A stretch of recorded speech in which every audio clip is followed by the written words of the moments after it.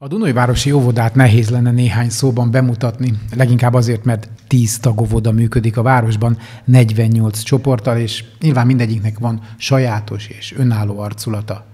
Gyenes Józsefné irányítása alatt működő intézménye az elmúlt évek során mégis olyan egységet és összefogást mutatott a város felé, ami figyelemre méltó és példaértékű.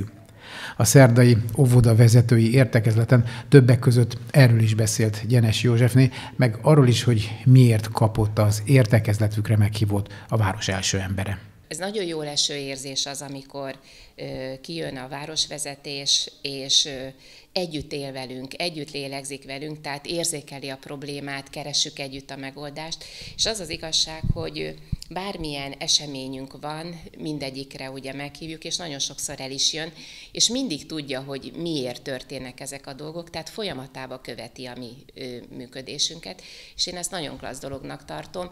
Ez azért mentálisan is jó a lányoknak is, hogy nem vagyunk egyedül, tehát ott van mögöttünk egy olyan stáb, aki érzékeli, tudja a problémát, és a javításon, megoldáson törekszik velünk együtt. Én azt gondolom, így lehet intézményt jól működtetni egy városvezetésnek, hogy hogy tudja azokat az aktuális feladatokat. Az értekezlet után Pintér Tamást is kérdeztük, aki elmondta, hogy a munkája része, hogy időről időre eljusson minden intézménybe személyesen is. Elmondása szerint a Dunai Városi óvodai ágazatról egy általános pozitív képe van a városnak.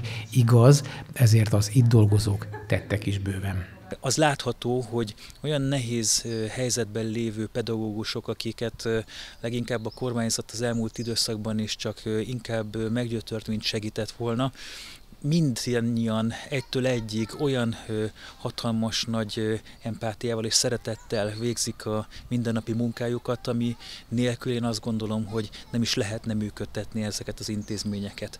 És nagyon fontos azt látni is, hogy bármennyire is nehéz az ő helyzetük, bármennyire is forráshiányjal küzdenek, ezek az emberek mindent megtesznek annak érdekében, hogy ezt ne érezzék a gyerekek, illetve inkább ellenkezőleg tudják fejleszteni ezeket a gyermekeket, illetve az ő körülményeiket. Zárásként Pintér Tamás elmondta, hogy az óvodai ágazatunknak köszönettel tartozunk, és megfogalmazása szerint a városvezetés a maga részéről igyekszik is viszonozni mindezt.